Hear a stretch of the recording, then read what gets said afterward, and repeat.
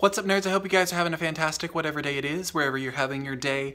Uh, this fortnight on Project Nerdy, we are discussing our Halloween costumes 2017.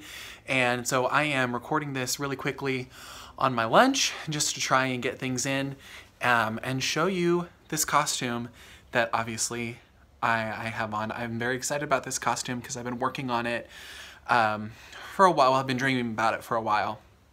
And um, Amazon really came in clutch for me this year. They, um, I got lots of stuff off of Amazon for this costume, so I'll try and put links in the description below um, to the pieces that I got in case you want to also get them. So um, if you were wondering, this is a kind of a modern-ish uh, Prince Adam, Prince Human Beast costume. I'm not really sure exactly what to call it. If those of you, Kat or anybody has a better concise description for what this costume actually is, let me know in the comments below. Actually, let's make that my question for today. What would you call this costume or categorize this costume as?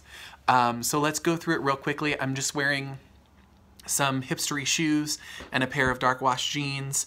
Um, I have this blue blazer that I got from, from Amazon which is still wrinkled in a couple places. I need to steam it. Um, I also got this rose pin off of Amazon. It is so pretty, you guys. It has a little some rhinestones and things and this colored glass, and it is just absolutely gorgeous. And I also got this yellow scarf off of Amazon.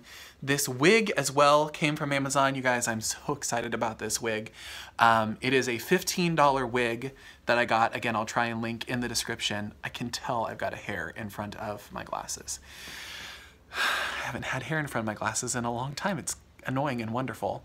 Um, anyways, it was a $15 wig. It already came with so much curl in it.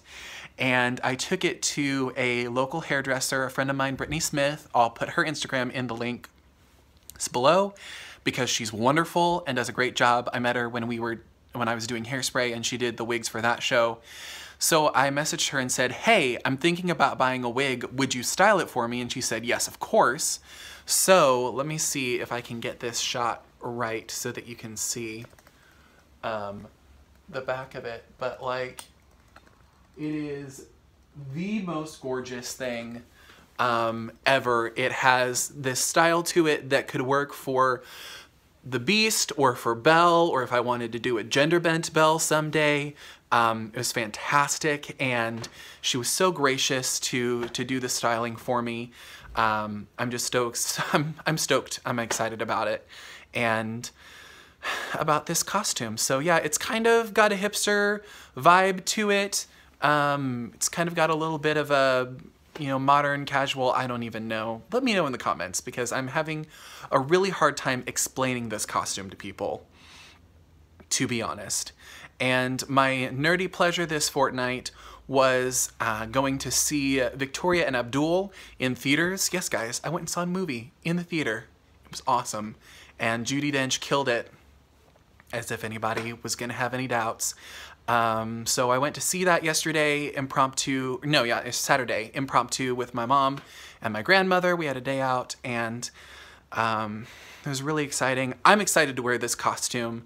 Um, and if wigs work out, I might get some for like my real life because I miss having hair, you guys, to be honest. So um, that's all I have for you guys today. I'm almost over time. So peace and blessings. And Holly, we'll see you on Wednesday, girl.